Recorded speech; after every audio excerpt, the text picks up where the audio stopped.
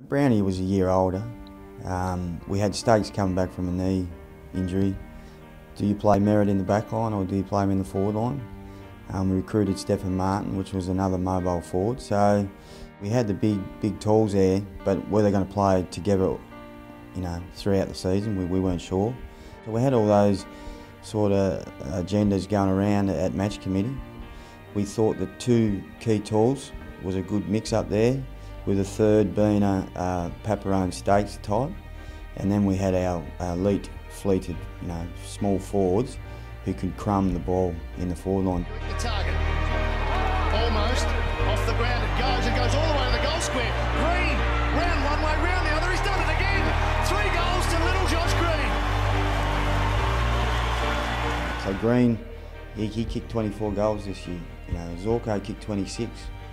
Um, Brandy kicked his 28. You know, we put Staker in there in the latter part of the season. He kicked 21. So we had a, a um, you know diversified uh, forward line that could operate against any team in competition. See now to Ackley, pressure. but they're on the back foot. The pressure, it's amped up here, and it had to go the right way. Mayes puts them back in front.